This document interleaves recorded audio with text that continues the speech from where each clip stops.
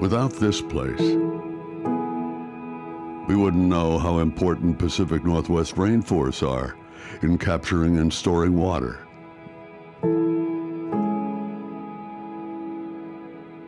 Or how well these forests capture carbon and produce oxygen.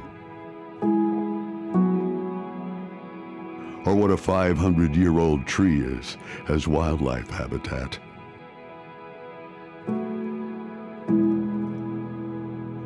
We wouldn't know how much life is created when these big old trees finally fall.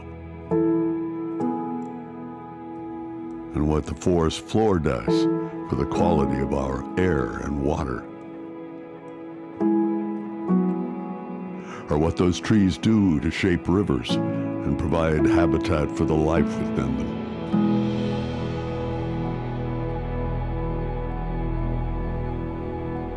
The questions that are asked here are parts of that big question.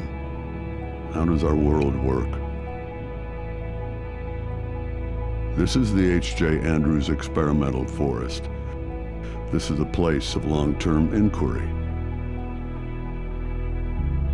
It's a community of people who are working to understand the ecosystems that run our planet and our own role in those ecosystems.